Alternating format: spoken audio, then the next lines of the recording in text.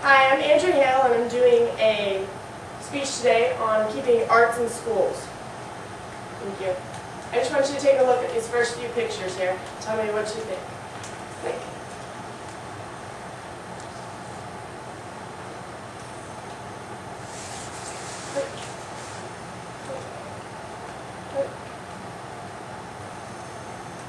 Throughout time, we've had many different forms of art, whether it be music, drama, um, ways to express ourselves in visual arts. The arts have been around for as long as time, for as long as we can tell.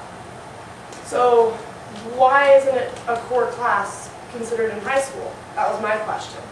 Well, what defines a core class? Based on types of studies that were pursued in, in the classical world, several liberal arts became organized in late ancient times by writers such as Varro and Capella.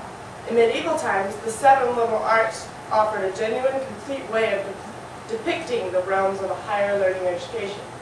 So the first one is the trivium, which is the three roads, and it's grammar, rhetoric, logic, and the detail of information.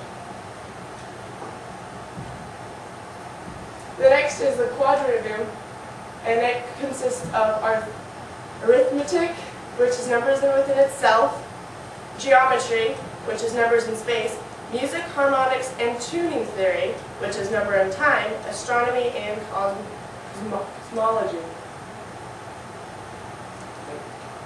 So when I was going through this, I was curious. I was like, what are Idaho's graduation requirements? What do you have to have? What do they consider a core class? They consider that you have to have four credits of math, two credits of science, social studies, econ, you need to have five credits. Humanities, you can only have two credits, which and that can include a science, or not a science, excuse me, a Spanish class or some foreign language. You don't even have to take an art class one credit of health, and you have to have 17 electives. Within those electives, you can choose to take arts or different kind of classes if they're offered at your school. Thank you. So how does this, how do the arts benefit students? One, it contributes to making a well-rounded student. Two, it encourages the pursuit of extracurricular hobbies. Three, it's a fantastic stress reliever. Four, it provides a sense of worth. And five, it, it's a showcase for expression. The first, that I, when I did my speech, I broke it down into three different things. Drama, art, and music class. So what are the benefits of drama? I believe that it sharpens sense of plot, setting, and characters in all integral aspects to become a better reader. Um, improvisation is fun and allows you to kind of act silly at school, which we all know high schoolers sometimes need to act silly. And the next thing is it flexes memory muscles when it, you need to remember your lines. It helps you remember your lines.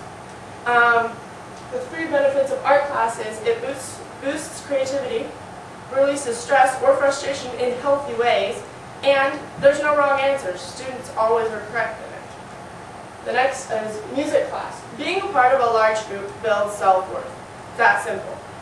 Um, you foster appre appreciation for all works of music beyond what's just playing on the radio, and it teaches the value of practice and hard work. So what are ways to fund the arts? The No Child Left Behind Act that everybody loves so much has a certain block of money set aside for arts within schools. So that's one way that when your school district is breaking down their budget that you can try to fund your school if arts in your school if that's possible. The next thing is levies and that kind of just depends whether your school feels that that's important or not.